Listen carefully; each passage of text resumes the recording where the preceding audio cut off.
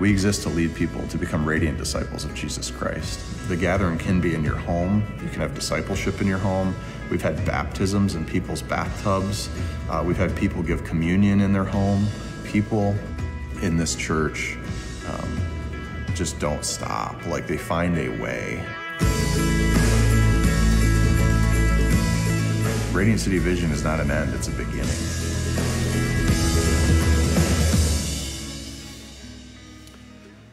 Well, hey, Radiant Church, so good to see you guys. Everybody, take your Bibles out if you have them. And if you don't have it, it's going to come up on the screen. If you're at home, let me invite you, open your Bibles with us as well. And I want you to turn to two scriptures today. Number one, I want you to turn to Matthew 6 and Hebrews chapter 12 is the second scripture. This is uh, part four of our Be Radiant series, all part of our Radiant City vision, uh, focus, and strategy that we're all a part of. How many of you uh, were able to watch New Rain last weekend or this week? Raise your hand if you've watched it. Wasn't that inspiring? Man, some of the stories in there just, uh, Jane and I watched all the way from Florida and uh, we got choked up because I, I actually did not see it until it uh, aired. Uh, and I wanted to be surprised by it, but I was just so uh, so moved, so touched by it. And if you're not registered to watch this week, uh, make sure that you join us. Uh, that you go and you can go to radiant.church slash uh, new rain and you can register there. I know it was on uh, the update there, but we want to make sure everybody gets an opportunity to see this. And as part of that whole building a radiant city vision, we're looking at the five core values of really what makes Radiant radiant. And last week, uh, Pastor Caleb brought an incredible message on being family oriented. And uh, it was just so powerful. And today we're going to be looking at what it means to be kingdom focused. Radiant Church is a church that is kingdom focused. Look here at Matthew chapter 6, beginning in verse 31. Jesus said these words he said, Therefore, do not be anxious, saying, What shall we eat, or what shall we drink, or what shall we wear? For the Gentiles seek after these things, and your heavenly Father knows that you need them all. But seek first the kingdom of God and his righteousness, and all of these things will be added to you. Now turn over uh, to Hebrews chapter 12 and look with me at verse 28. Hebrews chapter 12, verse number 28 says, Therefore, let us be grateful that we are receiving a kingdom that cannot be shaken. And let us therefore offer to God acceptable worship with reverence and awe, for our God is a consuming fire. Our God is a consuming fire. In both of these passages, and there's a whole whole slew of scriptures in the New Testament where the emphasis and the focus is on this idea of the kingdom of God. This is the message Jesus went forth proclaiming. When he went from city to city, village to village, it said he went and he declared, The kingdom of God is in your midst. What does it mean when we use that idea of the kingdom of God? Well, the word kingdom comes from a Greek word, basileia, and here's what it means it means the reign or the rule or the realm of a monarch, of a king. And so a king's boundaries of his and his borders of his kingdom that's called so and you know we we would say like state borders this is the kingdom of michigan although it's a democracy uh, it's different than a monarchy but we understand boundaries Jesus went forth declaring the kingdom or the realm or the rightful rulership of God everywhere that he went. And here's what we know Jesus is the king. How many know that Jesus is the ultimate king of kings and Lord of lords? So here's what that means it means wherever the king is, that's where the kingdom is. And wherever the kingdom is, that's where you can find the king. And wherever Jesus went, he went proclaiming the kingdom of God. And how did he back that up? He preached it, and then he exercised his rightful rule and authority. He cast out demons, he healed the sick, he forgave the sinner, he gave hope to the hopeless, he multiplied the bread and the loaves. And what was he doing? Those were called signs and wonders. What was he attesting to? He was declaring he had a rightful rulership over even nature itself, over the ability to forgive sins and the ability to cast out demons. Why was that significant? It's because in this present age, in this age between the time that Adam and Eve fell in the garden until the time that Jesus, the King, returns and fully establishes his kingdom on the earth, has been a period of time that has been under the sway of spiritual darkness, evil. It's been under the domain of the God of this world, Satan, the devil who hates God, hates you, wants to come to steal, to kill, and to destroy. He's blinded the eyes of unbelievers. He's convinced people that there is no God, and if there is a God, you're free to do whatever you want to do. In fact, his greatest lie is to convince humans that you're God so that you will become a captive to your sins, so that you will become a captive to the powers uh, and the oppression of darkness. So, what did Jesus come? He walked into villages, he walked into towns, he walked into situations where darkness was reigning and ruling, and he exercised kingdom authority by saying, I'm stronger than you, demonic spirit. I'm stronger than you, sickness and infirmity. I'm stronger than you, death itself. And he raised the dead, healed the sick, cast out demons, and he declared, I'm doing this to tell you that one greater than the devil, one brighter than darkness, and one more alive than even death, the grave, or even human life itself is in your midst. And I am the Messiah, the King of kings and the Lord of lords. He ultimately proved it by going to the cross and then defeating death itself by being raised from the dead. And because of that, Philippians chapter 2 says God has highly exalted him and given him a name above every name, that at the name of Jesus, every knee will bow and every tongue will confess that Jesus Christ is Lord. That's my king. So when we talk about the kingdom of God, we're talking about more than just, you know, God's God and he's over it all, he's made it all, but he's kind of given us our world. Now, Jesus came to declare that in the midst of this broken, evil age, the kingdom of God has broken in and he is exerting his authority. And listen, the church is meant to be an extension of that kingdom. The kingdom of God begins in us. Everybody take your index finger, raise it up, turn it towards yourself, and point it and say, The kingdom of God is within me. You got to say it like you actually believe it too. So take your, uh, let's try it one more. Rewind the tape. Here we go. Take your index finger. Ready? Point it at you and say, The kingdom of God, kingdom of God is within me. Now, if you are a Christian, then that statement is true. If you're not a Christian, you're not a follower of Jesus, you're just going through a dumb exercise in a building someplace. Because the reality is, when we're born again, when we come under the lordship of Jesus Christ, what we're saying is, I believe Jesus is the Son of God, that He died for my sins, that I should legally have paid for, that He rose from the grave, victorious over death, hell, and the grave, and I bow my knee to Jesus as Lord. I come under His kingship and His lordship, and at that moment, the kingdom of God invades my life. But here's what I've discovered is that a lot of us think that salvation is more about fire insurance than it is about the kingdom of God. I want to pray a prayer to make sure that when I die, I don't go to hell. That's fire insurance. So I prayed the prayer, now I want to live my life the way I want to do. Because if we have that mentality, here's what we're saying I like Jesus as my Savior, I just don't want him to be my King. I like Jesus as the one who forgives my sins, but I don't want to declare Jesus is Lord. Because saying Jesus is Lord means he's master, he's God, he's over it all. I'm not. Now, this is really, really pronounced, especially in American Christianity. And let me tell you why. It's because America is the great democratic experiment.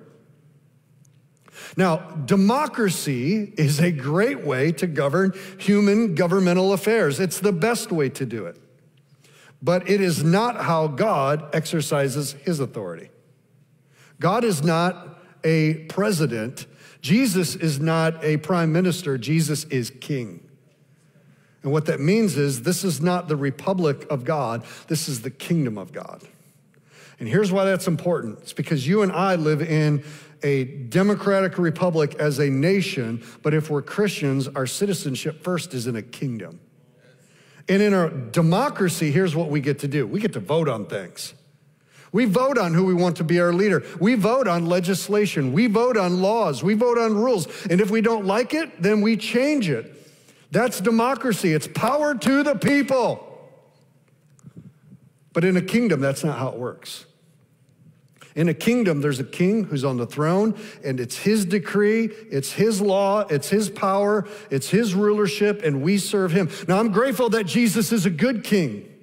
He's the best king. He's a generous king, but he's not taking polls about which legislation we're all excited about. He's not finding out what's trending, and he's not running for election.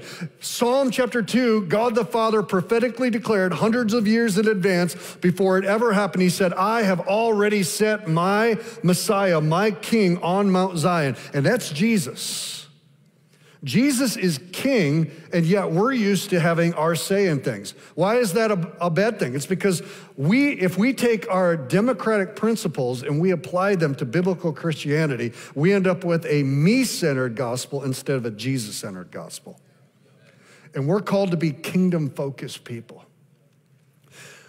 We're called to bring our whole lives into focus around Jesus Christ and who he is. That means we're to have to allow some other things to not become our focus. If you've ever taken pictures with a camera with a lens that's adjustable that you have to bring into focus, some of you who are really, you know, like the old, my, so family pictures in my house were a nightmare. In fact, I still have trauma and PTSD from them. And I, I had to go to therapy for some of our family pictures because my stepdad had one of those old cameras with the lenses on it. And so you had to stand there. He had to get the lights and he's like, hold still. And he's doing all the adjustments. It took took like 10 hours. And then all of a sudden he'd snap picture and he's like, okay, let's do it all over again. It's like, no, dad, I can't. Every Christmas, it's like you had to open your gift like halfway through, stop so that he could get an action picture of you opening your gift. And then he had to bring it into focus. It was terrible.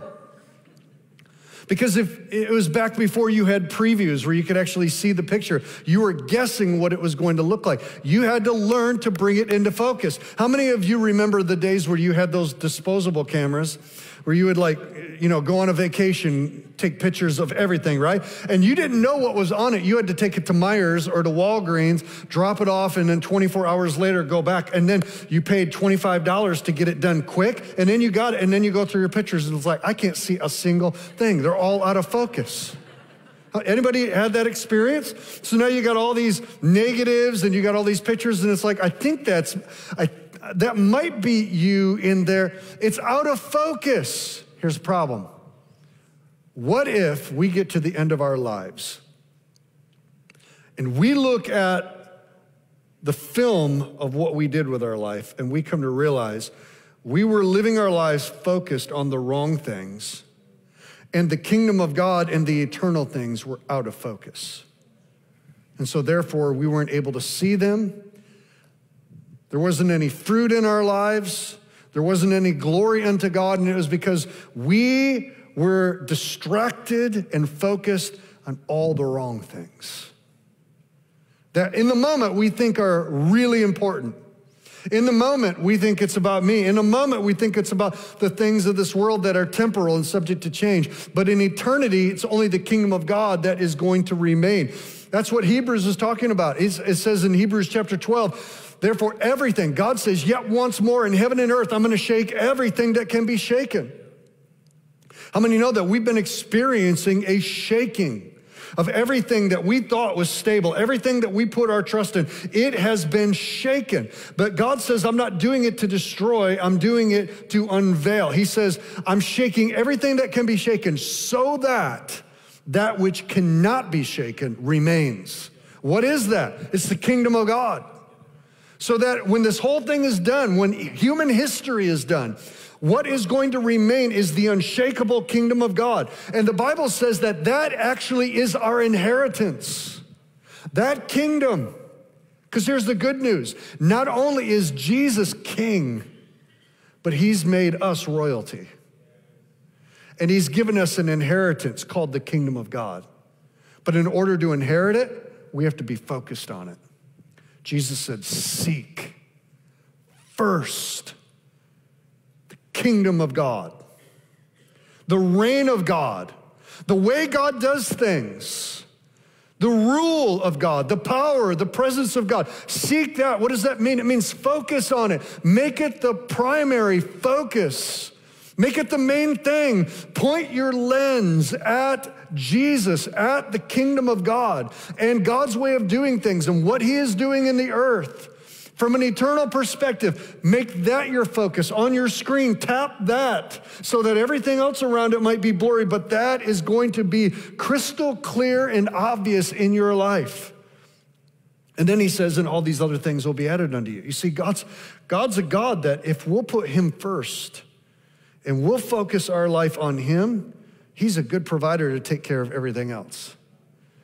But the world, the way of the world is put our focus on everything else. Put our focus on our job, put our focus on our fitness, put our focus on politics, put our focus on money, put our focus on, you know, we're a selfie generation on our social media. It's like, oh, here's me. I'm, I'm making another piece of avocado toast. And, uh, and here's, it's like, we, we have to put our focus on Jesus, on the kingdom of God. So, how do we do that? How, how do we bring our life into focus around Jesus? Here are some declarations, I believe, that will help us bring our life into focus. And I'm making, I put these in the form of declarations because I want us to be able to say these and to state these over our lives. Number one is this. Declaration number one is Jesus is my king and I live for his approval alone. Come on, I want somebody to say this with me. Say it with me. Say, Jesus is my king, and I live for his approval alone. Doesn't that just feel good to say? My spirit jumps on the inside of me when I say that because it's life. Think about these statements. Acts chapter 17, the early church, in the formative years and months where the church is beginning to move out in power and strength. Here's what the world says about the church.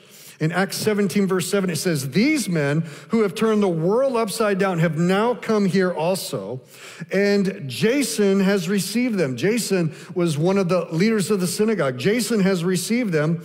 And look at this it says, And they are all acting against the decrees of Caesar, saying that there is another king, Jesus. The church was accused of worshiping Jesus, not just as Savior, not just as a religious icon, not just as an avatar. They, they were going forth and saying, No, there is another kingdom that we are aligned with, and there is a king, and his name is Jesus. You do not know how revolutionary that statement was. You say Jesus is king in America, and it's like, Oh, yeah, that's really nice. I mean, you know, Kanye came out with an album by that title as Jesus is King. Uh, compose. I mean, you got this whole thing where Jesus is King and everybody's fine with that. You said Jesus is King in Rome and you got your head cut off. Because in Rome, under the emperor, whether it was Nero, whether it was Vespasian, whether it was Titus, whether it was Domitian, whether it was Caligula, any of the Roman emperors, if you declared yourself to be another king or to be a servant of another king, it was punishable by death. And this is what Christians were going around declaring the kingdom of God is here, just like Jesus did, just like the apostles did. And they said, no, there's another king, and his name is Jesus. They tried to censor, they tried to censor the, the early church. The Jewish leaders tried to censor them, Rome tried to censor them. We would say they had cancel culture. Well, they were trying to tell him, you can't preach in that name anymore. But they did it boldly. They said, no, you can't proclaim another king, but they did. You know, we're living in a day and age, cancel culture, where it's like, if you don't say the right thing, then we're going to cancel you on social media. I'll tell you what, I'd rather be canceled in history than canceled in eternity. I do not like it here or there. I do not like it anywhere. Let the hearer understand. John 18, Jesus answered Pilate when he asked him, Are you a king? And Jesus said, My kingdom is not of this world.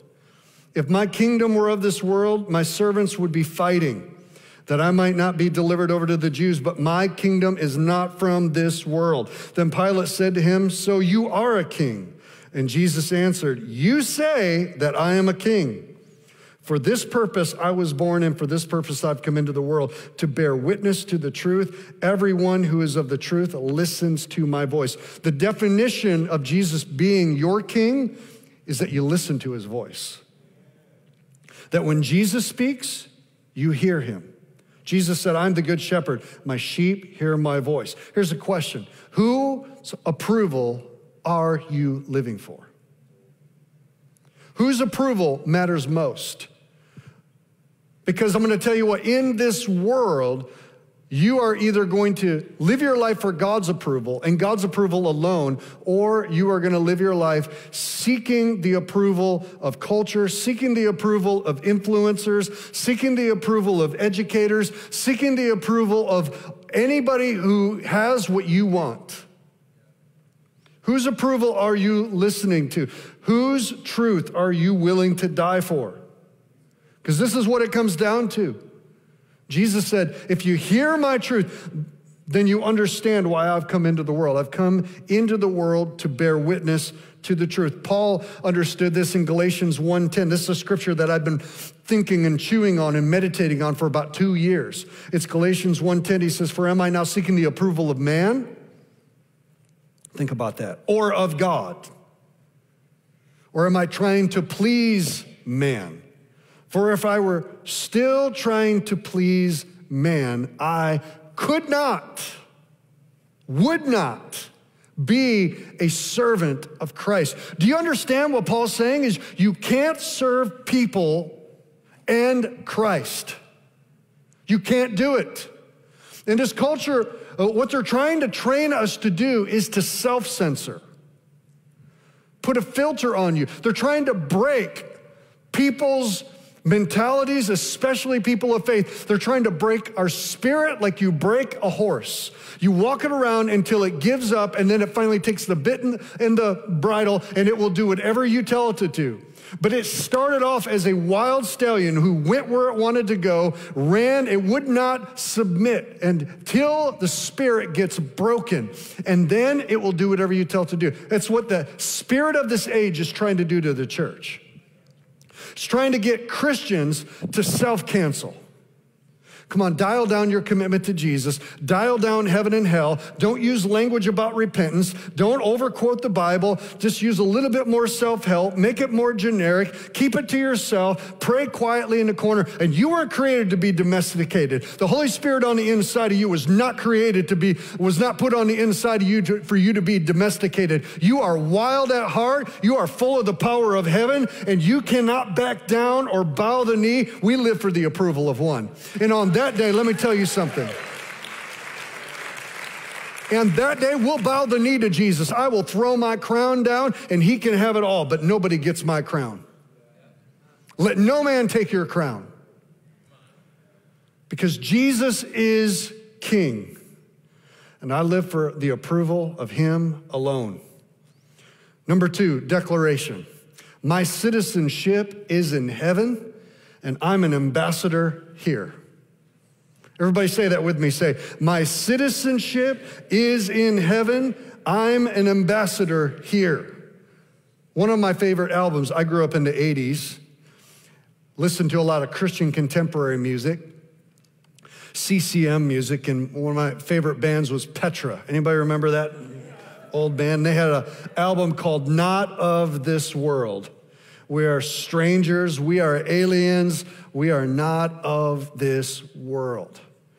And I remember even as a teenager, 13, 14, 15 years old, when that album came out, just the, the revelation and the reality of that statement that I'm not from this world. It's not just a cute little metaphor, it's reality. My citizenship is in heaven. And just thinking and meditating on that, that yes, I live on this planet, but I'm here on mission.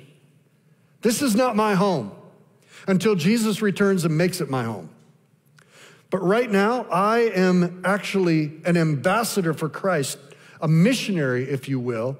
An ambassador is a representative of the head of the state of another kingdom. And the Bible says, You, as a born again child of God, are an ambassador from the kingdom of heaven who's been sent to the earth to enforce and to legislate kingdom of God legislation. Think about that. That's what Jesus meant when he said, When you pray, pray, your kingdom come and your your will. Whose will? God's will. King Jesus' will. Philippians chapter 3, verse 20. Paul's writing to believers at Philippi, and he says, Your citizenship is in heaven and from it we await a Savior, the Lord Jesus Christ. This is interesting that Paul uses this language in Philippians because Philippians was a letter that Paul wrote to the church at a town called Philippi in Asia Minor. Philippi was one of the wealthiest cities in all of Asia Minor. And the reason for that is it was named after Philip, who was the father of Alexander the Great. How many have ever heard of Alexander the Great? He conquered most of the known world, established the Macedonian Greek Empire.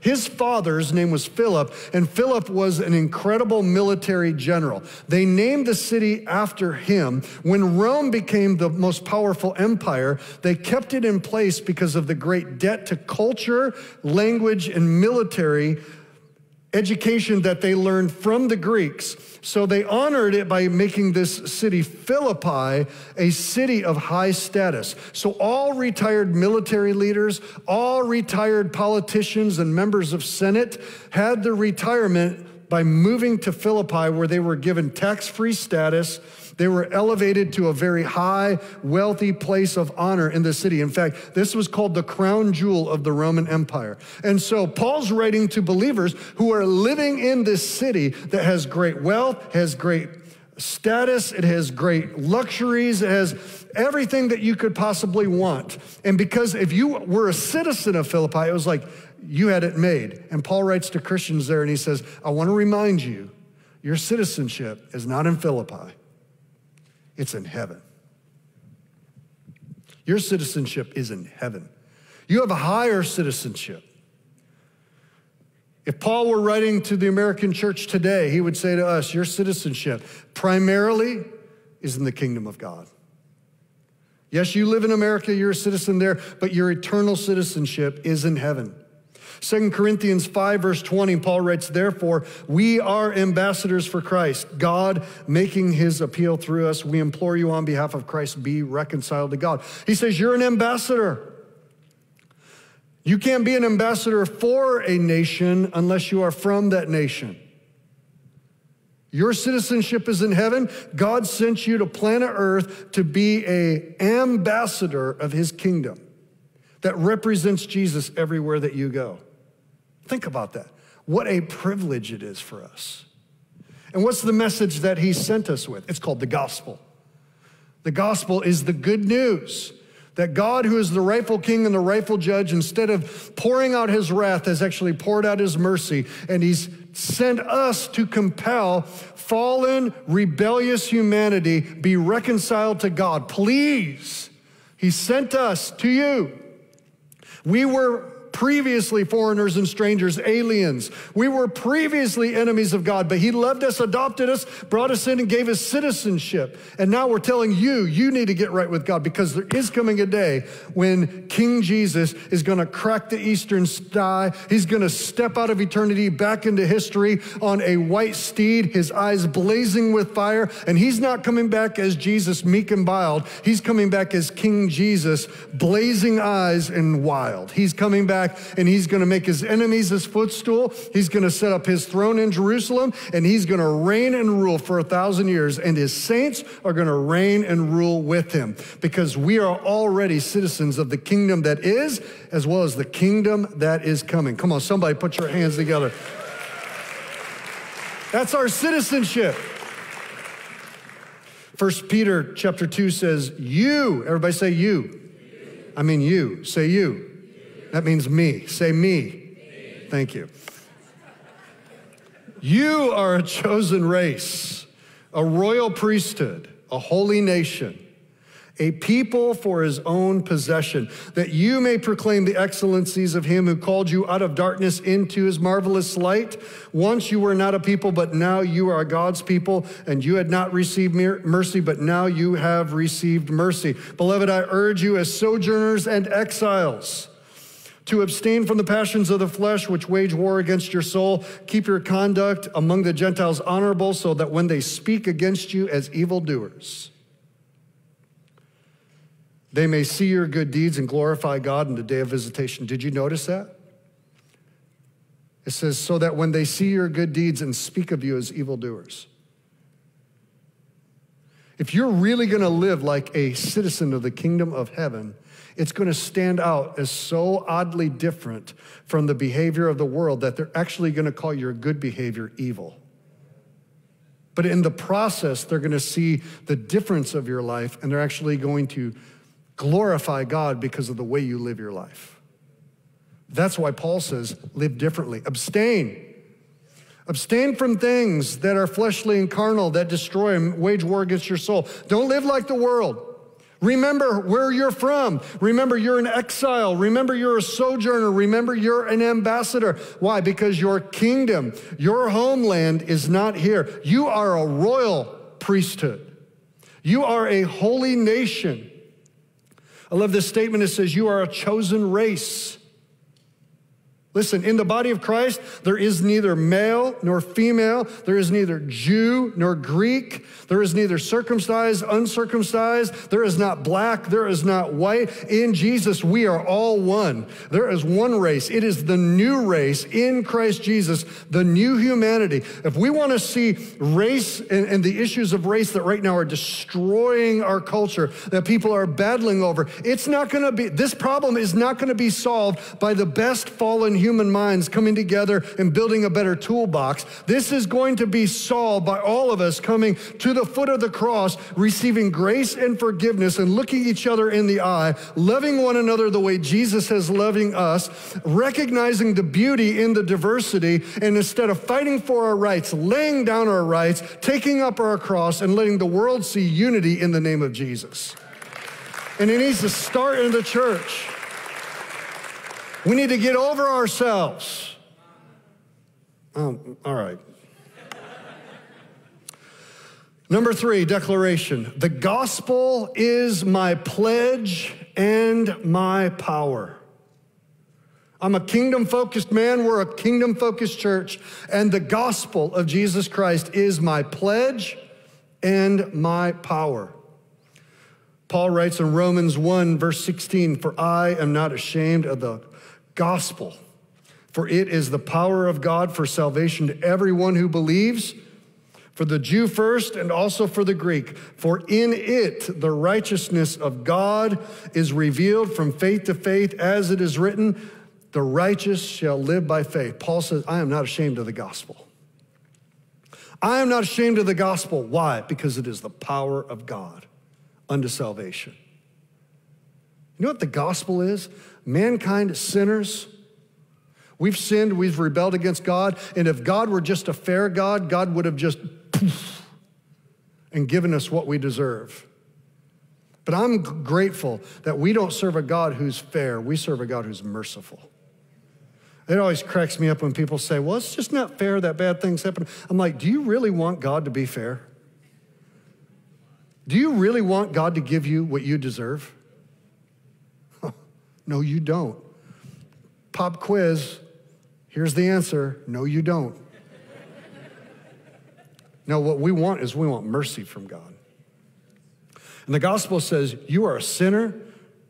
All of us have sinned. All of us have fallen short of the glory of God. We rebelled against a good God who made everything perfect. We were deceived, fell into sin. God could have left it at that and he would have been perfectly just. He doesn't need anything from us. He's eternally self sufficient in triunity Father, Son, and Holy Spirit. He's worshiped by angels. But yet, God, in his mercy, took on flesh, came in the form of a man died on the cross for the sins of the world. The one who knew no sin took on sin so that you and I, who all we knew was sin, could be made the righteousness of God in Jesus Christ. He was raised from the dead. You can't earn it. He offers it as a free gift to whoever will believe on it. And when you believe on it, your name is written in the Lamb's book of life. You will live forever and eternally as one of his children, co heirs with Christ, reigning and rule over all the cosmos and the universe. Someday you will judge angels and you get it all for free. Jesus paid it all. All to him I owe. Sin had left a crimson stain. He's washed it white as snow. That's the power of God unto salvation. And I'm not ashamed of that gospel because it doesn't mean God is an equal opportunity Savior. You want into the kingdom of God? It's absolutely free, but it'll cost you everything. Because you can't take your old life through the narrow gate. Jesus says, Repent and believe. What does repent mean? It means I have to lay down all other allegiances. I have to lay down all privileges. I have to lay down all preferences. I have to lay down all pleasure. I have to lay down all identities. I lay it all down and I die to myself. And in that moment, by His Spirit, He resurrects me. And I'm born again by the Spirit of God, a child of God. Heaven lives on the inside of me. And I'm wonderfully saved. This is the gospel of Jesus Christ. And it is my pledge, and it is the power of God unto salvation. This is what we're called to preach here, around the corner, and around the world. Jesus sent us out for one purpose to preach the gospel to the whole world. And when we say Radiant is a kingdom focused church, we say, look, we are focused on living our lives in submission to his lordship, his kingship. And we're saying, Lord, we will give our lives for your approval, whether anybody else ever approves of us or not. And we will preach the gospel boldly, courageously, strongly, clearly, without compromise and without watering it down, because it is the only hope that we have. It's the only hope, church. It's the only hope we have, it's the only hope for the world. And as imperfect as we all are, the gospel is perfect. The word of God is perfect. Jesus is perfect. And he's calling all of us to put our lives into focus around him. Would you stand with me, even at home? Would you just stand with me? Turn your eyes upon Jesus. Look full in his wonderful face and the things of earth will grow strangely dim in the light of his glory and grace. Looking unto Jesus, the author and the finisher of our faith. There are a lot of things that we could easily put our focus on. There are a lot of things individually we could put our focus on. But in the end, they're only mirages. In the end, the only thing that matters is that Jesus is king. His kingdom is come and his kingdom is coming. It's here in part, but Jesus is coming back. And when he comes, his kingdom will fully come. Do you know him today? Do you know Jesus as king? I'm not talking about do you know Jesus as the cartoon figure. I'm not talking about, do you know Jesus, the religious icon? I'm not talking about, have you ever said a prayer? I'm talking about, have you submitted your life to the lordship, kingship of Jesus, and all of the implications of that? Elliot, who was a missionary to Ecuador some 50 years ago, ended up as a martyr, made a statement. He said, He is no fool who would lose everything he can't keep in order to gain what he could never lose. This is the gospel of Jesus Christ. This life is like sand that we hold in our hands, and the tighter we squeeze it, the more of it slips through the cracks of our finger till there's nothing left. But if we put our hands to the plow of the kingdom, if we offer our lives to the one who gave his life for us, none shall be lost. Jesus said, Those that you've given me, Father, none of them have been lost. I want you to bow your heads with me right now, if you would. I believe in this room, the Holy Spirit is moving up and down rows, up and down aisles, and there are, are individuals you know in your heart of hearts you have lived as a renegade against King Jesus. You've lived for yourself. Jesus has been a good little add on accessory to your already good life, but you've never really bowed the knee and said, Jesus, your way is my way. Maybe you're here today and you know you're lost in your sins and you're an enemy of God.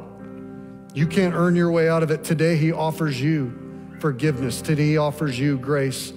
If you'll repent, if you'll surrender today, God will forgive you. If you're a prodigal today, you're listening to me, and you know that there was a time when you were serving Jesus and you were living for the gospel, but you've modified the way that you've lived your life in order to accommodate your way. Today, He's calling you to repent and come home and give your whole heart, your whole life to Him.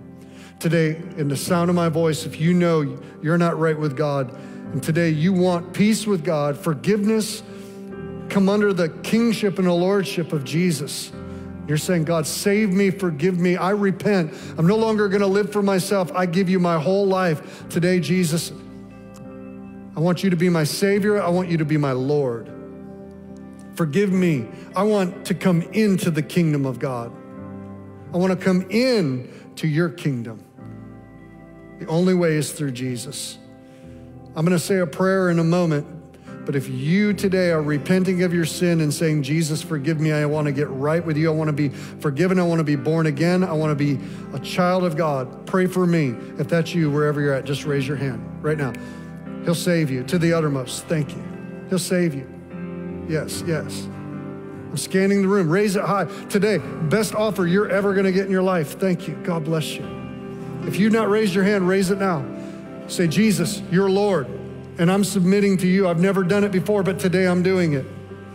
Even online, if that's you, God sees it, just raise your hand. So you can put your hands down. Thank you. I want everyone to pray this prayer with me out loud. This is our declaration of faith. Say, Heavenly Father, I come in Jesus' name and I confess I am a sinner. I deserve judgment. I can't forgive myself. I'm dead in my sins, but I believe in Jesus. Jesus, you are the Son of God.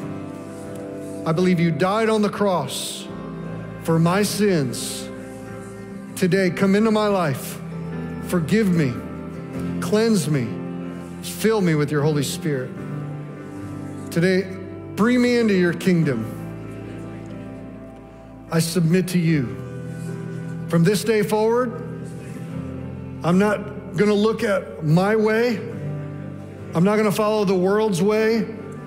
Jesus, I say you are the way, and I will follow you all the days of my life. Thank you for loving me, saving me, and giving me new life today.